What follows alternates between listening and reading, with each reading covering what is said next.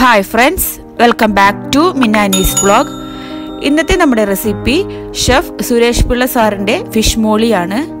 അപ്പത്തിന്റെയും ചപ്പാത്തിയുടെയൊക്കെ ഒപ്പം തന്നെ ചോറിന്റെയും കൂടെ കഴിക്കാൻ പറ്റിയ നല്ല അടിപൊളി റെസിപ്പിയാണ് അപ്പോൾ നമുക്ക് വേഗം തന്നെ റെസിപ്പിയിലോട്ട് പോകാം.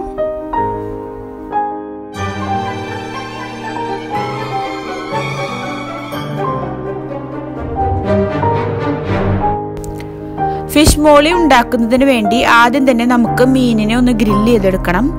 അതിനുവേണ്ടി ഞാനിവിടെ അര കിലോ മീനാണ് എടുത്തേക്കുന്നത്. ഇതിനകത്തോട്ട് അര ടീസ്പൂൺ മഞ്ഞൾപ്പൊടിയും ആവശ്യത്തിനുള്ള ഉപ്പും ചേർത്ത് നല്ലപോലെ മീനിനകത്തോട്ട് തേച്ച് പിടിപ്പിച്ച് കൊടുക്കണം. ഇനി ഇതിനകത്തോട്ട് ഒരു ടേബിൾ സ്പൂൺ വെളിച്ചെണ്ണ കൂടെ ഒഴിച്ചു കൊടുത്ത് നല്ലപോലെ നമുക്കൊന്ന് എല്ലാത്തിലേക്ക് ആക്കി കൊടുക്കാം. അതിനുശേഷം ഇതിനെ ഒരു അരമണിക്കൂർ ഒന്ന് റെസ്റ്റ് ചെയ്യാൻ വെക്കാം. നല്ലപോലെ ഒന്ന് പിടിച്ചു വരുന്നതിന് വേണ്ടി അരമണിക്കൂർ റെസ്റ്റ് ചെയ്യാൻ വെക്കാം.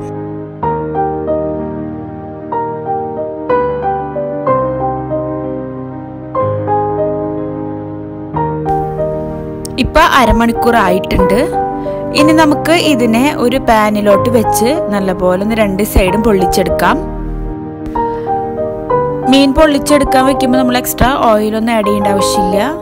ജസ്റ്റ് നമ്മൾ രണ്ട് സൈഡും ഒരു പാനിൽ വെച്ച് രണ്ട് സൈഡും നല്ലപോലെ ഒന്ന് ഗ്രില്ല് ചെയ്തെടുത്താൽ മതി. ഇപ്പോൾ ഇത് ഒരു സൈഡ് ഗ്രില്ലായി വന്നിട്ടുണ്ട്. നമുക്കത് മറിച്ചിട്ട് അപ്പുറത്തെ സൈഡ് പോലെ അതുപോലെ പൊള്ളിച്ചെടുക്കാം.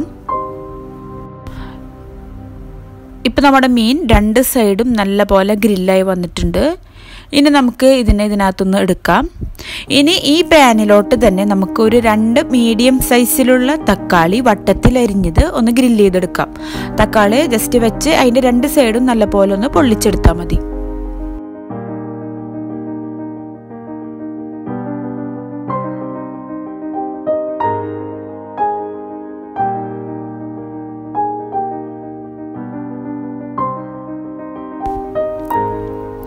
ഇപ്പം നമ്മുടെ തക്കാളിയും രണ്ട് സൈഡും നല്ലപോലെ ഗ്രില്ലായി വന്നിട്ടുണ്ട്. ഇനി നമുക്ക് വേറൊരു പാനിലോട്ട് അല്പം വെളിച്ചെണ്ണ ഒഴിച്ച് കൊടുക്കാം. അതിനകത്തോട്ട് ഒരു കാൽ ടീസ്പൂൺ ഉലുവയും അതുപോലെ തന്നെ ഒരു നാല് ഏലക്കായും ഇട്ട് നല്ലപോലെ ഒന്ന് ചൂടാക്കി എടുക്കാം.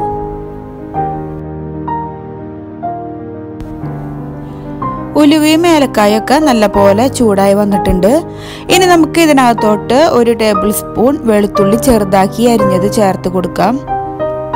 വെളുത്തുള്ളി നല്ലപോലെ ഒന്ന് പച്ചമണം പോകുന്നവരൊന്ന് ചൂടാക്കിയെടുക്കാം. ഇനി നമുക്ക് ഇതിനകത്തോട്ട് ഒരു ചെറിയ പീസ് ഇഞ്ചി നല്ല നീളത്തിൽ അരിഞ്ഞത്.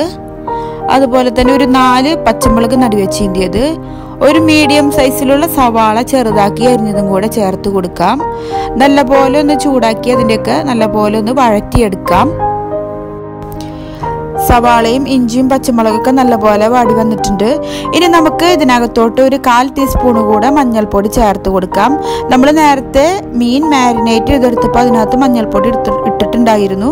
അത് കാരണം തന്നെ ഇതിലേക്ക് ഇനി ഒരു കാൽ ടീസ്പൂൺ കൂടെ മതി.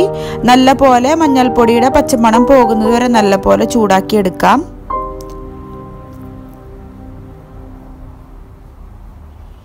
മഞ്ഞൾപ്പൊടിയുടെ പച്ചമണമൊക്കെ പോയി നല്ലപോലെ ചൂടായി വന്നിട്ടുണ്ട്. ഇനി നമുക്ക് ഇതിനകത്തോട്ട് ഒരു കപ്പ് വെള്ളം ഒഴിച്ചു കൊടുക്കാം. നല്ലപോലെ ഒന്ന് എല്ലാം കൂടെ ഒന്ന് ഇളക്കി മിക്സ് ചെയ്തിട്ട് നല്ലപോലെ വെള്ളം തിളയ്ക്കാൻ വേണ്ടി വെക്കാം. നമ്മൾ വെള്ളം ഒഴിച്ച് തിളപ്പിക്കുമ്പോൾ അതിനകത്തോട്ട് ഒരു രണ്ട് കുടംപുളിയും കൂടെ ഇട്ട് കൊടുക്കണം. ഇപ്പോൾ വെള്ളം നല്ലപോലെ തിളച്ച് വന്നിട്ടുണ്ട്.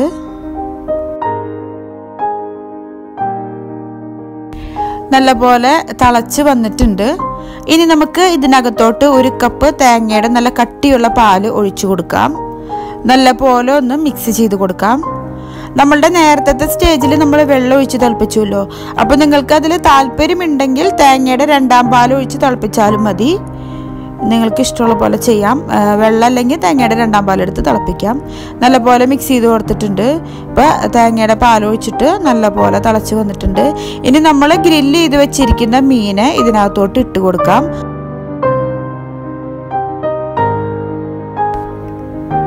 ഇപ്പം മീൻ നല്ലപോലെ തിളച്ച് കണ്ടില്ലേ? തിളച്ച് കുറുകി വന്നിട്ടുണ്ട്. നല്ല പോലെ തിളച്ച് വന്നിട്ടുണ്ട്. ഇനി നമുക്ക് ഇതിനകത്തോട്ട് നമ്മൾ നേരത്തെ ഗ്രില്ല് ചെയ്ത് വെച്ച തക്കാളിയും കൂടെ വെച്ച് കൊടുക്കാം.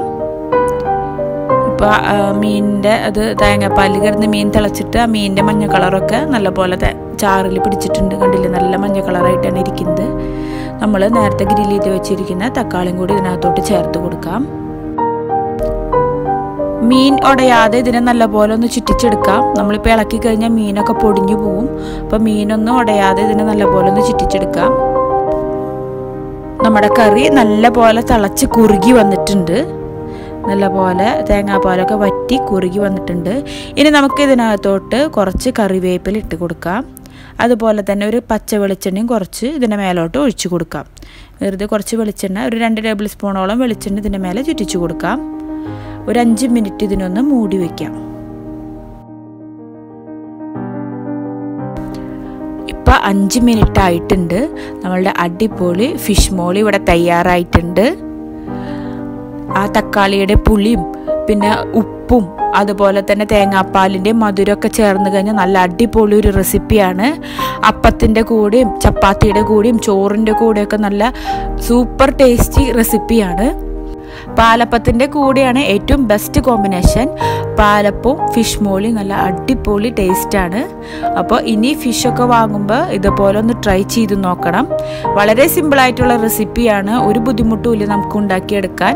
പെട്ടെന്ന് തന്നെ തയ്യാറാക്കിയെടുക്കാവുന്ന ഒരു റെസിപ്പിയാണ് അപ്പോൾ ഇന്നത്തെ റെസിപ്പി എല്ലാവർക്കും ഇഷ്ടപ്പെട്ട് കാണുമെന്ന് വിചാരിക്കുന്നു. ഇഷ്ടപ്പെട്ടെങ്കിൽ ലൈക്ക് ചെയ്യാനും ഷെയർ ചെയ്യാനും കമന്റ് ചെയ്യാനും മറക്കരുതേ. അതുപോലെ തന്നെ നിങ്ങൾ ഇതുവരെയും മിന്നാനീസ് വ്ളോഗ് എന്ന ചാനൽ സബ്സ്ക്രൈബ് ചെയ്തിട്ടില്ലെങ്കിൽ ഒന്ന് സബ്സ്ക്രൈബ് ചെയ്തേക്കണേ. ഒപ്പം തന്നെ തൊട്ടടുത്ത് കാണുന്ന ബെൽ ബട്ടൺ കൂടെ ഒന്ന് പ്രസ് ചെയ്തേക്കണേ. അതിൽ ഓൾ ഓപ്ഷൻ കൂടെ ഒന്ന് സെലക്ട് ചെയ്തേക്കണേ. അപ്പോൾ ഞാൻ വീഡിയോസ് ഒക്കെ അപ്ലോഡ് ചെയ്യുന്നതിനനുസരിച്ച് നിങ്ങൾക്ക് നോട്ടിഫിക്കേഷൻ ലഭിക്കും. വീഡിയോസ് ഒന്നും മിസ്സായി പോവില്ല. താങ്ക്